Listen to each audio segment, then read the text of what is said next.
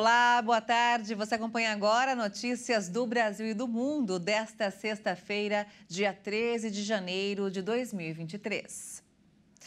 No 13º dia do governo do presidente Lula, o ex-presidente Jair Bolsonaro atualizou a biografia que descreve seus perfis nas redes sociais e deixou de se autorreferenciar como presidente da República. Nesta sexta-feira, quem acessar o Facebook, Twitter, Instagram e LinkedIn de Bolsonaro lerá a descrição: 38º presidente da República Federativa do Brasil. Em 1 de janeiro, Lula tomou posse como o 39º presidente da República. E o presidente Lula exonerou Gilson Machado da presidência da Embratur e nomeou o deputado federal Marcelo Freixo para um mandato de quatro anos. O decreto com a nomeação foi publicado hoje no Diário Oficial da União.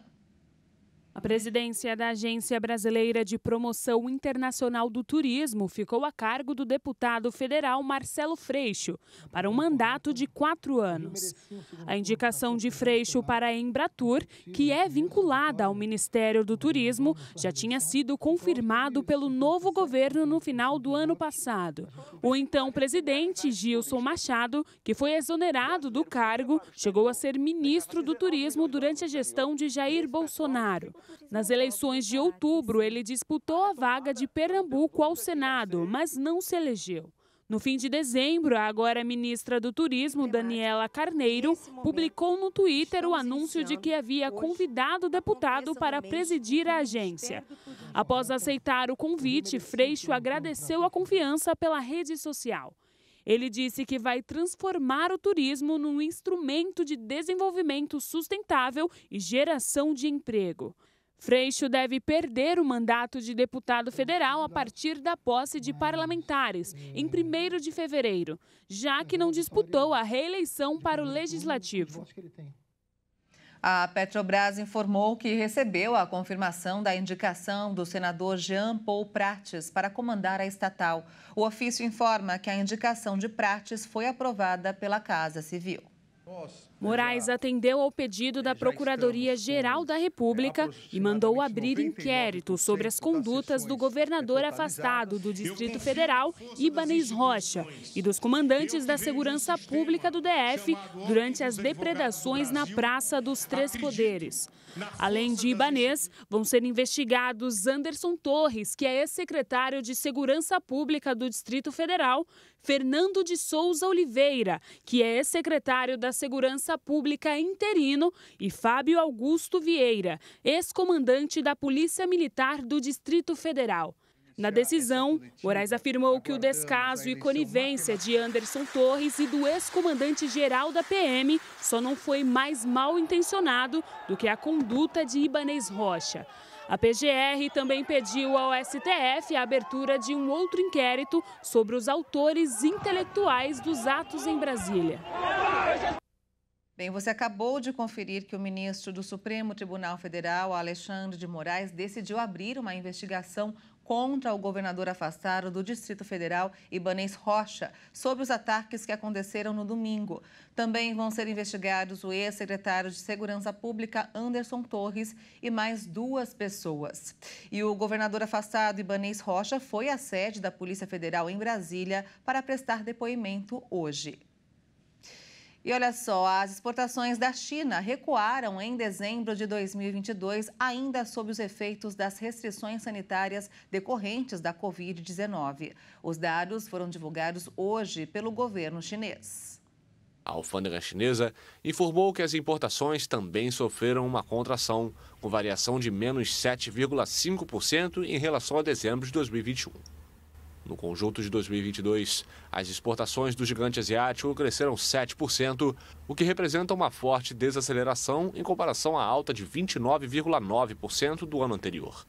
A segunda maior economia do mundo ainda sofre o impacto de seus anos de política de Covid-0, que afetaram os negócios e as cadeias de suprimentos, assim como o consumo, em dezembro, a China começou a suspender a maioria de suas estritas medidas sanitárias e, desde então, enfrenta um grande aumento do número de casos de Covid-19.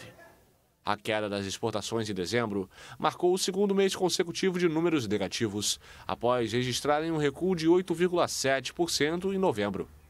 As importações também tiveram seu segundo mês de queda, que chegou a menos 10,6% em novembro. Combinada com o aumento dos preços da energia, a ameaça de recessão nos Estados Unidos e na Europa contribuiu para enfraquecer a demanda global por produtos chineses. A Trump Organization, que pertence ao ex-presidente americano e magnata Donald Trump, foi condenada hoje por fraude fiscal. Com o objetivo de evitar o pagamento de impostos, empresas que compõem o conglomerado não declararam benefícios financeiros concedidos a diretores. O curador de Manhattan, Alvin Bragg, informou que o grupo do magnata republicano Donald Trump foi considerado culpado por 17 crimes graves, incluindo delitos como evasão fiscal e falsificação de declarações contábeis. As manobras tinham o objetivo de ocultar do fisco as compensações financeiras dadas a alguns diretores. Trata-se da primeira condenação penal para a corporação familiar do ex-presidente, que administra empreendimentos como clubes de golfe, hotéis de luxo e propriedades imobiliárias. Duas empresas do grupo, a Trump Corporation e a Trump Payroll Corporation, concederam benefícios financeiros a altos executivos entre os anos de 2005 e 2018, mas esconderam tais concessões para evitar o pagamento de impostos. Entre eles está o ex-diretor financeiro histórico da companhia, Eileen Weisselberg, que é muito próximo a Donald Trump e se declarou culpado em 15 acusações. Weisselberg foi condenado na terça-feira ao cumprimento de cinco meses de prisão e ao pagamento de uma multa de mais de 2 milhões de dólares.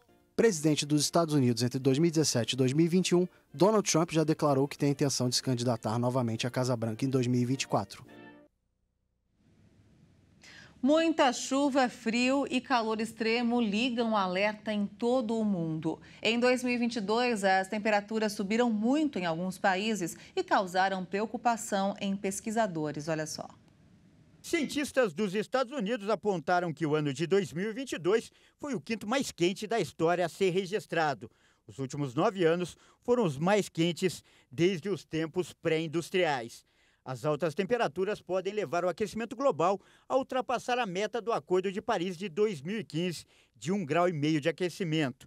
De acordo com a NASA, o ano passado empatou com 2015 como o quinto mais quente desde que os registros começaram em 1880.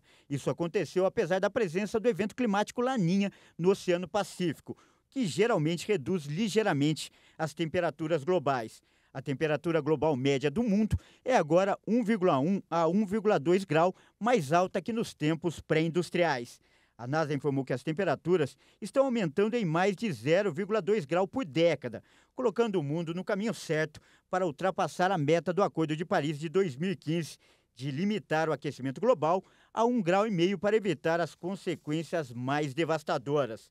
Segundo pesquisadores da NASA, no ritmo que caminhamos, não vai demorar mais de duas décadas para chegarmos a isso. A única maneira de evitar o avanço é conter o lançamento de gases de efeito estufa na atmosfera.